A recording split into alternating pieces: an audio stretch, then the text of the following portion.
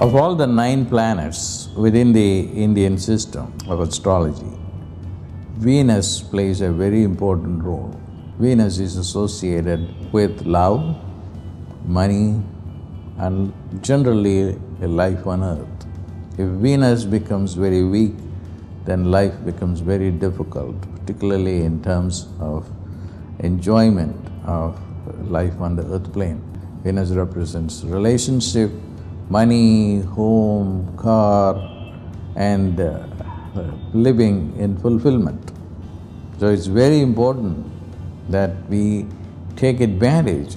You can access His energy. How can you benefit from this?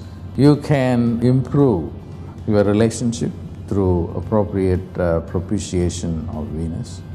You can buy a home, you can buy a car,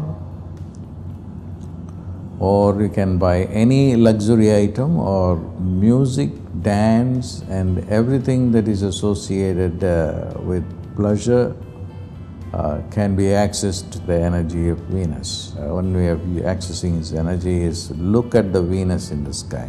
So it's important that we make use of this special time of the Venus.